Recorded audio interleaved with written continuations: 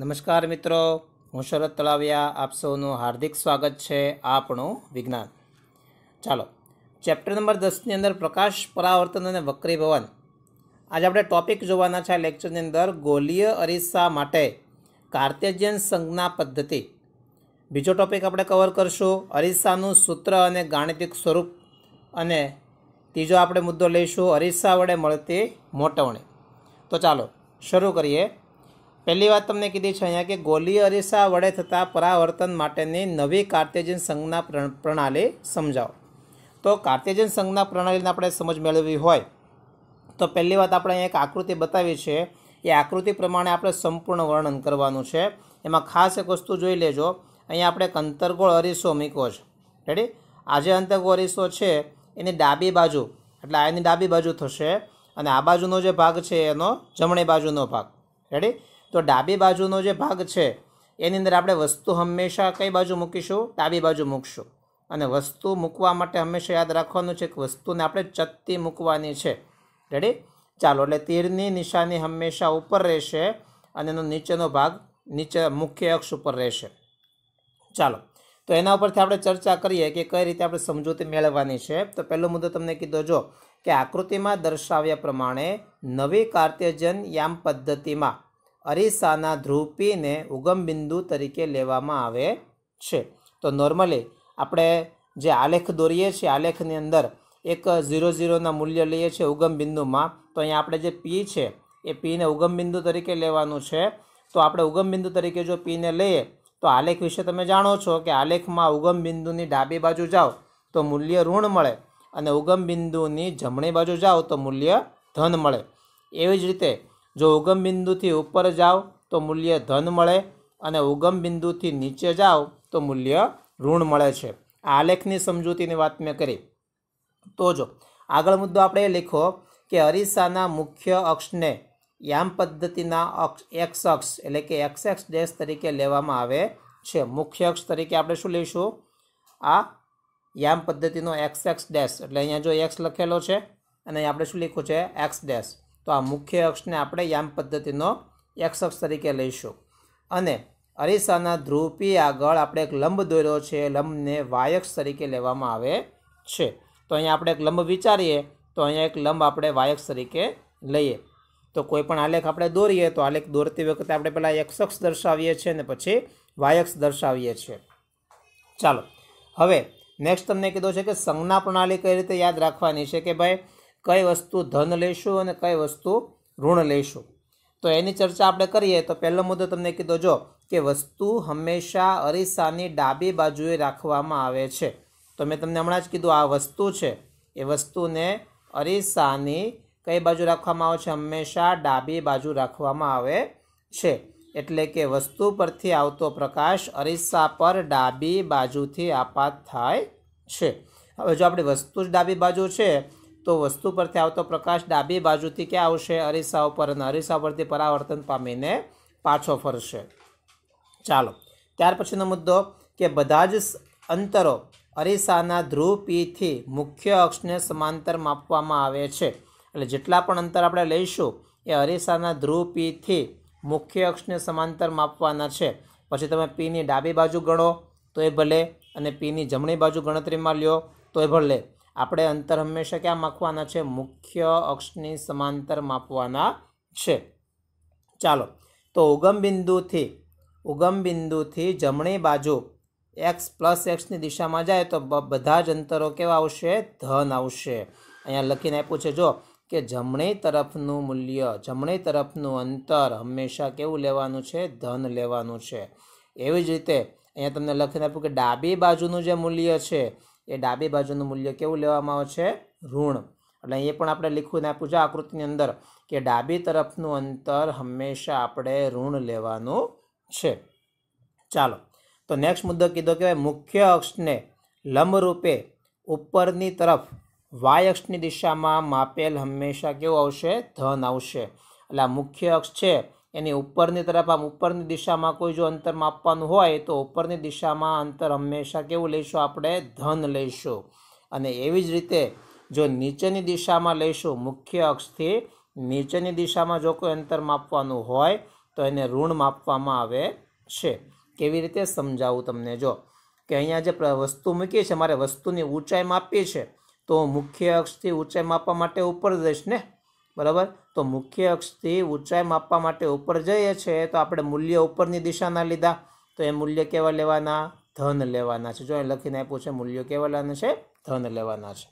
એવી જ રીતે મને પ્રતિબિંબ ઉલટું મળ્યું, તો મારે પ્રતિબિંબની ઊંચાઈ માપવી હોય, તો મુખ્ય અક્ષથી કઈ બાજુ જાશ નીચેની બાજુ. તો જ્યારે મુખ્ય અક્ષથી નીચેની બાજુ મૂલ્યો મપાતા હોય, તો એ મૂલ્ય હંમેશા કેવું મળે છે? ઋણ મળે છે. એટલે આ વસ્તુની કાળજી તમારે રાખવાની છે. ચાલો, અરીસાનું સૂત્ર એટલે શું? તેની ગાણિતિક સ્વરૂપ લખો. તો અરીસાનું સૂત્ર આપણે એકદમ ટૂંકમાં લખવાનું છે. જાજુ આપણને વર્ણન ચોપડીમાં આપેલું નથી. તો સૌપ્રથમ વ્યાખ્યા લખીશું આપણે એની કે વસ્તુ અંતર યુ, પ્રતિબિંબ અંતર વી અને અરીસાની કેન્દ્ર લંબાઈ એફ વચ્ચેનો સંબંધ દર્શાવતા સૂત્રને અરીસાનું સૂત્ર કહે છે. આ વ્યાખ્યા ઓલો અરીસાનું સૂત્રનું વર્ણન લખવાનું છે ખાલી. તો જો અહીંયા તમને સૂત્ર લખું તમને ખ્યાલ આવી જાય કે ભાઈ વસ્તુ અંતર યુ, એટલે અહીંયા યુ આવી ગયું. પ્રતિબિંબ અંતર વી, એટલે વી આવી ગયું.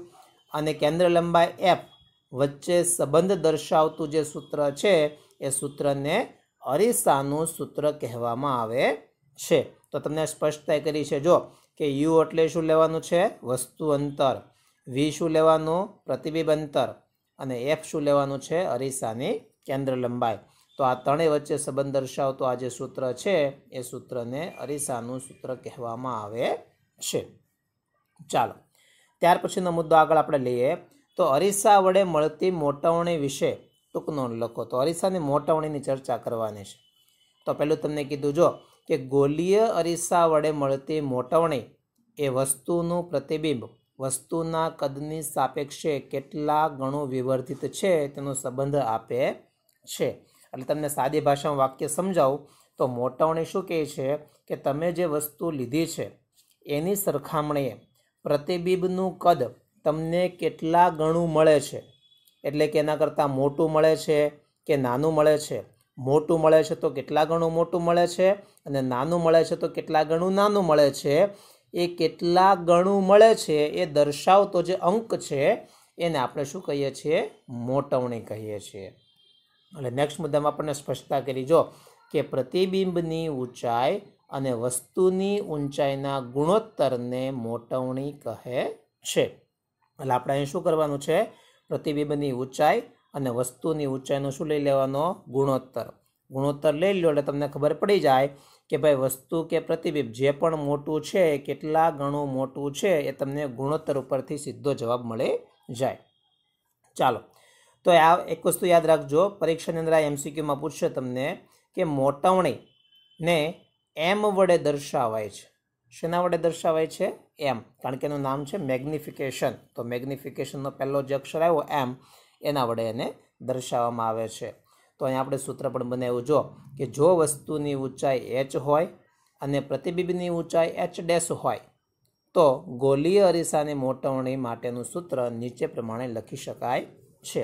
અહીંયા ઊંચાઈ એચ શું કામ ધારી? કારણ કે ઊંચાઈને ઇંગ્લિશમાં આપણે શું કહીએ છીએ? હાઇટ તો હાઇટ માટે આપણે ધાર્યો એચ તો વસ્તુની ઊંચાઈ એચ લીધી અને પ્રતિબિંબની ઊંચાઈ એચ ડેશ લીધી.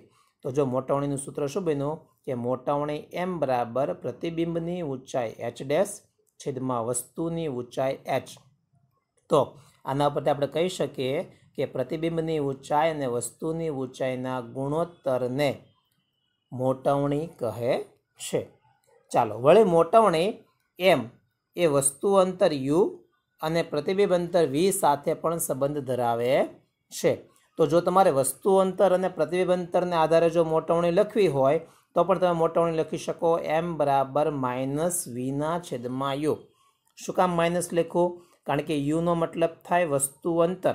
અને વસ્તુ તો આપણે ડાબી બાજુ લખી. તો કાર્તેજન સંજ્ઞા પદ્ધતિ પ્રમાણે વસ્તુ ડાબી બાજુ લખીએ, મૂકીએ તો ડાબી બાજુનું અંતર હંમેશા કેવું મળે? ઋણ. તો યુનું મૂલ્ય આપણને ઋણ મળશે, તો આજે પદ મૂક્યું, એ આખું પદ કેવું થઈ જશે? ઋણ થઈ જશે, માઇનસ થઈ જશે. ચાલો. તો સામાન્ય રીતે વસ્તુ મુખ્ય અક્ષની ઉપર રાખવામાં આવતી હોવાથી વસ્તુની ઊંચાઈ ઉપરની તરફ માપવામાં આવે છે, તેથી તેનું મૂલ્ય હંમેશા કેવું મળે છે? ધન મળે છે. હમણાં આપણે કાર્ટેજિયન સંજ્ઞા પદ્ધતિમાં જોયું કે વસ્તુને આપણે મુખ્ય અક્ષની ઉપર મૂકીએ છીએ હંમેશા.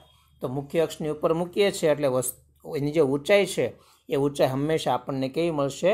ધન મળશે. પણ આભાસી પ્રતિબિંબ જ્યારે મળતું હોય, ત્યારે આભાસી પ્રતિબિંબ માટે ઊંચાઈ એચ ડેશ અને વાસ્તવિક પ્રતિબિંબ માટે ઊંચાઈ એચ ડેશ ઋણ લેવામાં આવે છે. આભાસી પ્રતિબિંબ કેવું હશે? ચત્તુ હશે. અને ચત્તુ હશે તો એ મુખ્ય અક્ષની ઉપર હશે. મુખ્ય અક્ષની ઉપર હશે તો એનું મૂલ્ય ધન મળશે. જો પ્રતિબિંબ વાસ્ત, આભાસ, વાસ્તવિક હશે તો એ ઉલટું હશે ને ઉલટું હશે તો મુખ્ય અક્ષની નીચે હશે. અને મુખ્ય અક્ષની નીચે જો પ્રતિબિંબ જાય તો એનું મૂલ્ય આપણને કેવું મળે છે? ઋણ મળે છે. એટલે ખાસ વસ્તુ યાદ રાખજો કે આભાસી પ્રતિબિંબ માટે પ્રતિબિંબની ઊંચાઈ એચ ડેશ ધન લેવામાં આવે છે અને વાસ્તવિક પ્રતિબિંબ માટે પ્રતિબિંબની ઊંચાઈ ઋણ લેવામાં આવે છે. ચાલો, તો મોટવણીના મૂલ્યમાં ઋણ ચિહ્ન પ્રતિબિંબ વાસ્તવિક છે તેમ સૂચવે છે. જો તમને મોટવણીનું મૂલ્ય ઋણ મળે, એટલે કે મોટવણીનો જવાબ તમે સૂત્ર ધારો કે મૂકો અને સૂત્રની અંદર બંનેની ઊંચાઈની કિંમત મૂકો અને કિંમતનો જવાબ તમને ધૃણ મળે, તો તમારે સમજી લેવાનું કે જો મોટવણીનું મૂલ્ય ઋણ મળે છે, તો એ દર્શાવે છે કે આપણને મળતું પ્રતિબિંબ વાસ્તવિક છે. તો જ એ તમને મોટવણી ઋણ આપે. ચાલો, એવું જ બીજો મુદ્દો તમને આ યાદ રાખવાનો શોર્ટકટ છે. જો હાઇલાઇટ કરેલું છે આપણે કે મોટવણીના મૂલ્યમાં જો ધન મૂલ્ય મળે, તો એ ધન મૂલ્ય શું બતાવે છે? કે આપણી પાસે જે પ્રતિબિંબ છે કેવું હશે? આભાસી હશે. કારણ કે આભાસી પ્રતિબિંબ ચત્તુ હશે.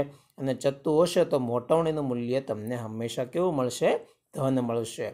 એટલે યાદ રાખવાનું છે શોર્ટકટમાં કે જો મોટવણીનું મૂલ્ય ઋણ મળે, તો પ્રતિબિંબ વાસ્તવિક હોય અને મોટવણીનું મૂલ્ય ધન મળે, તો પ્રતિબિંબ આભાસી હોય છે. ચાલો મિત્રો, અહીંયા સુધીની વાત આપણે આ લેક્ચરની અંદર કરવાની હતી.